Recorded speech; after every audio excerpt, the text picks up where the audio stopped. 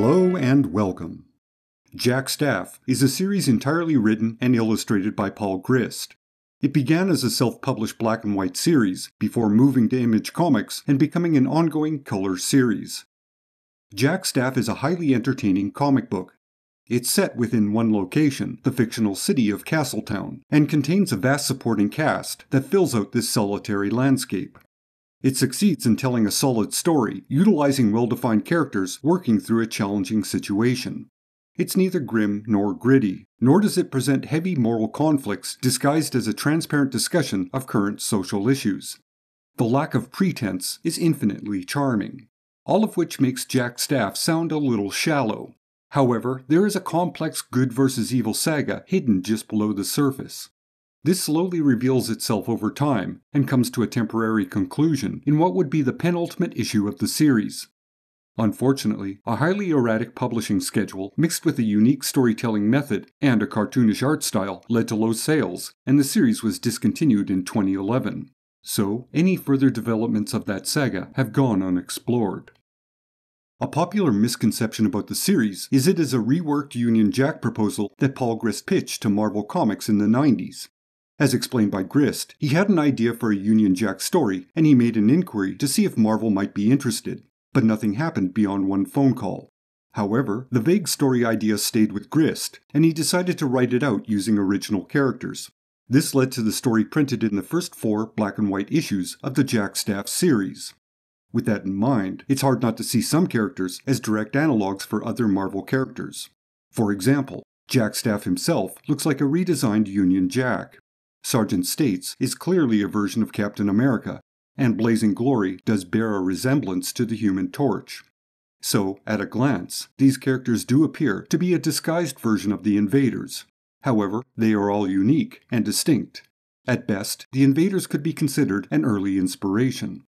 Stylistically, Jack Staff is based on British adventure comics, but filtered through a modern sensibility. So the story is broken up and serialized in short segments, focusing on various characters at various points during the story. In other words, the story feels somewhat fractured and non-linear. At the same time, it also feels quite organic once one adapts to the storytelling method. It's analogous to watching a Shakespearean play. After about 10 minutes, one gets used to the flow and rhythm of the dialogue, and they can settle in and enjoy the spectacle. The comic also pays homage to classic British adventure heroes, although practically all of these references will go unnoticed by a North American audience, not picking up on these parallels doesn't negatively impact the characters themselves. They are simply interesting details for one to notice if they are so inclined. To give a sense of how frenetic one issue can be, these are the plot beats within the first issue of the Color series. The story opens on Malone, the commander of Project Hurricane. He's informed that Weapon H has escaped and is headed towards Castletown. This cuts to a fight scene between Jack Staff and an unnamed brute. Presumably, he's the aforementioned Weapon H, as it turns out, these two opening scenes occurred 20 years in the past. This cuts to modern times and begins with three sequential splash pages that introduce Tom Tom the Robot Man, the villain Shock, and Commander Hawks. These three characters have a brief fight. Q, the question mark crimes division, is then introduced. They are on scene and investigating a strange murder. We also briefly meet the hard nosed, old fashioned copper, Detective Inspector Maverick who doesn't approve of Q and their methods. Becky Burdock, vampire reporter, is rescued by John Smith when he notices something falling from the sky. John Smith is, secretly, Jack Staff, who decides to investigate the hole the falling object created. Detective Inspector Maverick is then highlighted, along with Detective Sergeant Nolan. They discover a pattern to a series of rage attacks happening in Castletown. We return to Jack's Staff investigating the hole with Becky Burdock, here they run across Shock and Tom Tom, who were the mysterious falling object that nearly hit Becky. Tom Tom seems possessed and launches into the sky. This creates a hole that collapses on Becky and Jack.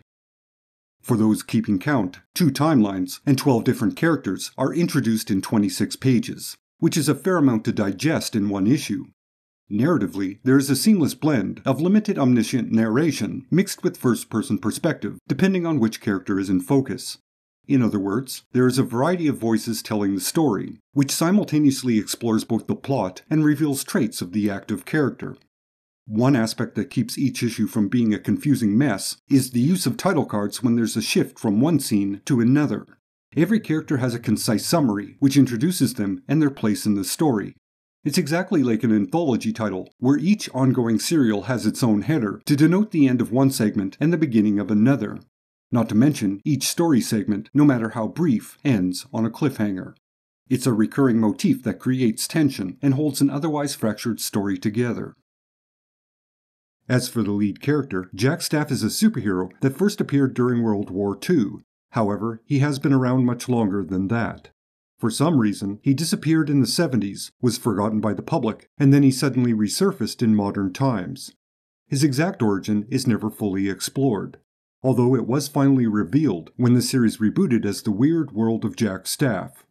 As the series reminds us, Jack Staff is also John Smith, a builder. Metaphorically, this likely indicates he is the character the premise is constructed or built around. While he may not always be a central figure, his presence alone holds the structure of the story together.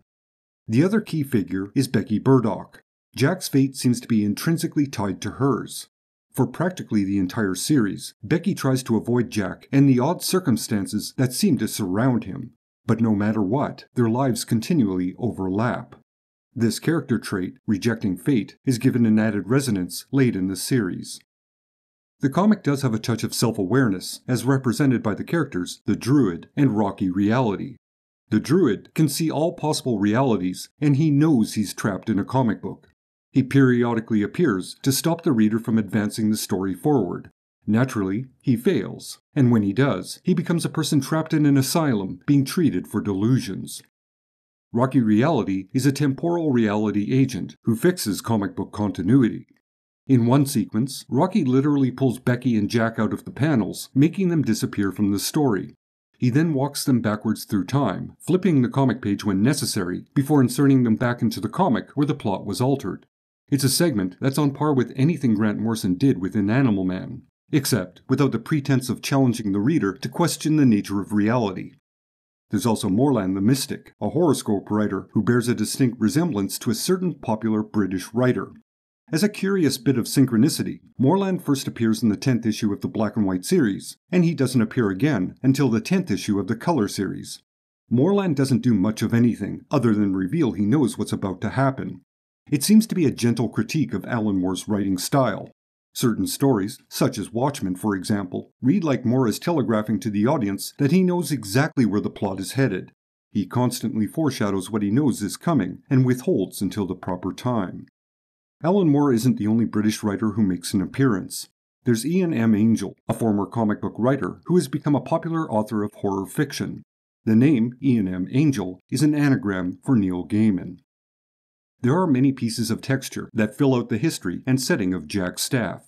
Many don't seem like obvious additions to the overall plot, yet later they become relevant, or, in some cases, quite vital. For example, Linda Jones, the Calendar Girl.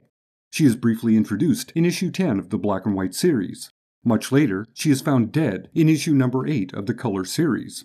But she doesn't get a proper introduction until issue number 14 but her true purpose within the story isn't revealed until issue number 5 of The Weird World of Jack Staff. So, for five years, a minor background character suddenly emerges to have a pivotal role.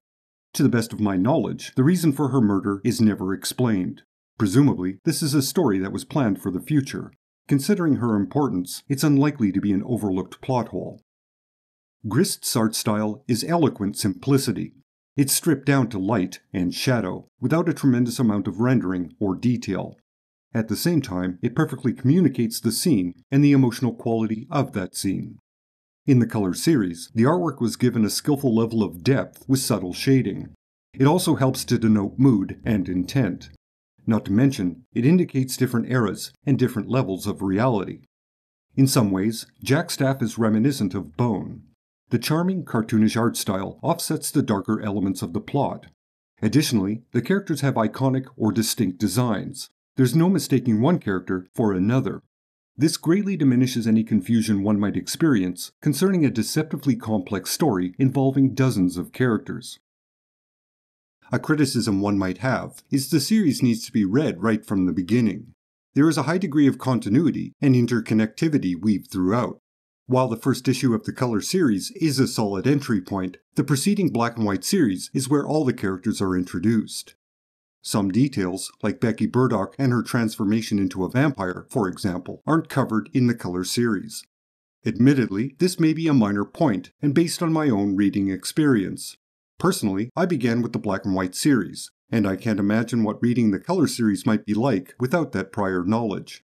It's also a series best read in bulk. Due to the structure, where the focus shifts from segment to segment frequently, some storylines can be a touch confusing unless one reads through them from beginning to end in one sitting. Again, this is another minor point, but worth mentioning. Its lack of success and obscurity can be mainly attributed to its highly erratic publishing schedule.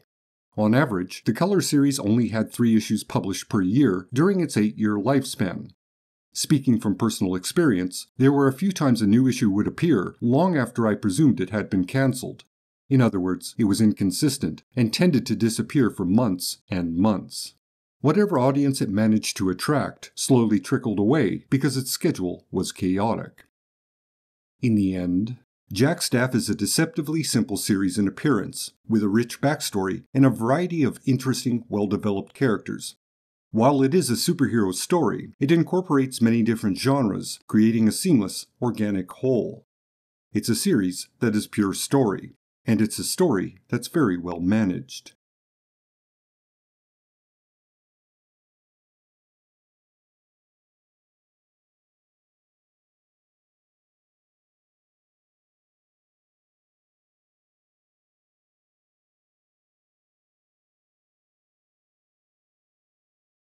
Until next time.